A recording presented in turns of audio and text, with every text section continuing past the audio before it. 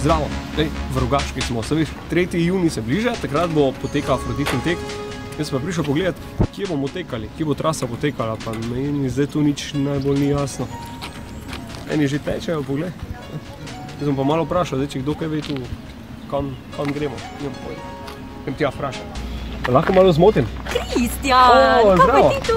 Uh, veš kaj, gledam, ki, vidi zdi krveta, ki tečemo, kako tečemo. Ja, veš, da vema. Tjaša, zaprdite, da Tjaša. več pozdravlja. Jaša, kam, ki, kam se teče? Ja, tak je. Tja se gre eno kilometr, Ha? na drugo stran pa pet pa deset. Tja, Na kjero progo pa greš ti? uh, na desetko, ne? No, pa bo kar Kontra. Ja, tja.